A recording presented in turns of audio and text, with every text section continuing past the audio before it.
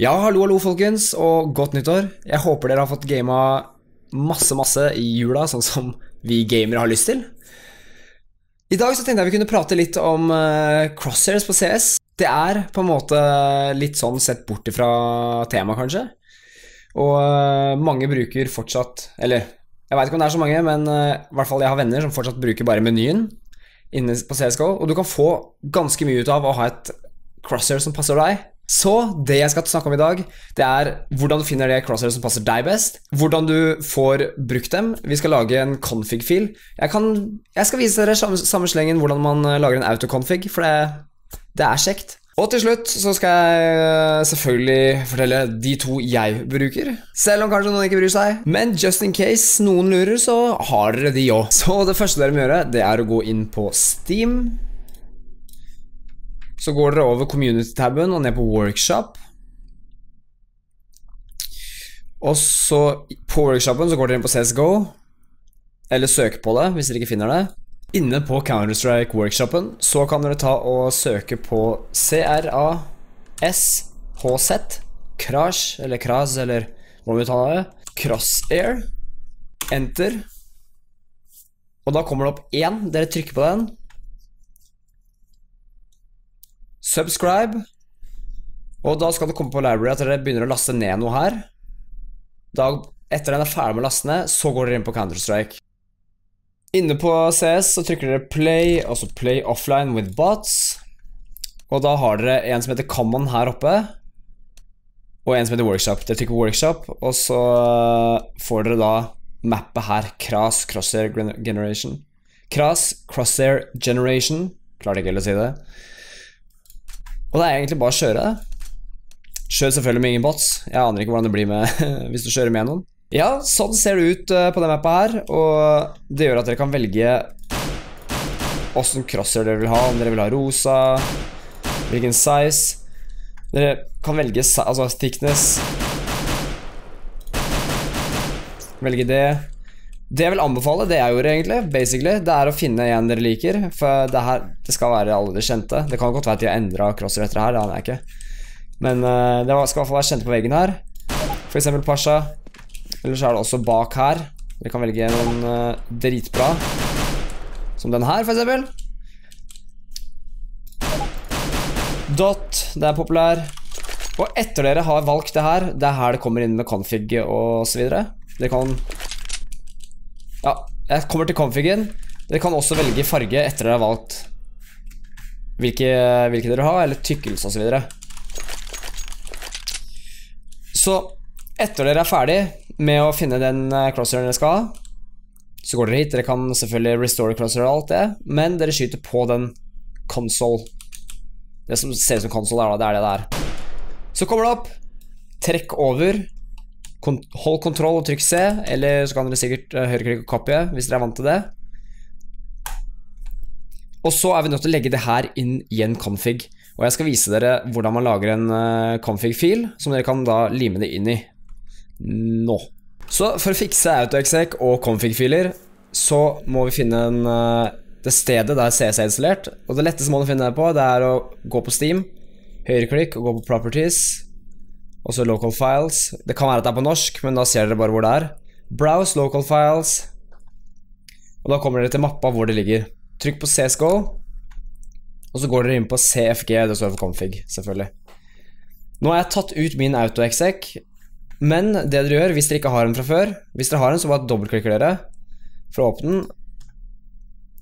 Men hvis dere ikke har det, åpne Eller lage, en ny, lage, ny, lage et nytt tekstdokument, bare som det. Kall det autoexec, eller i hvert fall husk hva dere kaller det.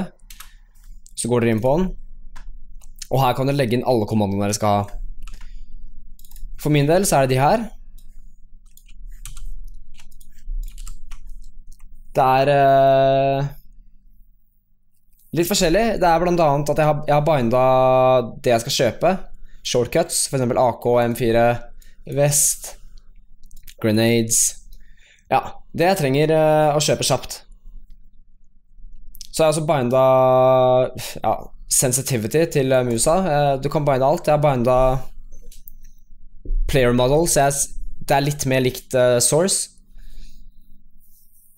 Hvis dere har lyst på den her, så kan dere ta den. Eller så kan dere finne ut uh, egne innstillinger. I alle fall, når dere har gjort det, så er dere nødt til å lagre den. Trykk Ctrl S eller kryss, og så trykke lagre. Når dere kommer hit, så endrer dere TXT bak til CFG. Da gjør dere den til en config-fil. Dere må gjøre etter det Dere må gå på config default eller bare config.cfg.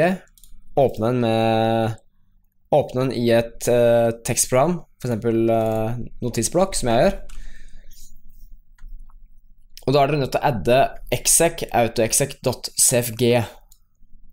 Så da kjører uh, CS autoexec-fila. Lagre.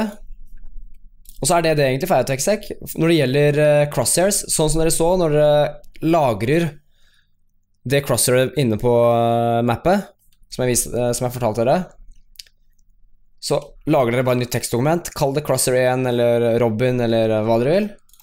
Bare husk å add CFG bak, sånn at det blir en config-fil, og da bare paster dere inn her.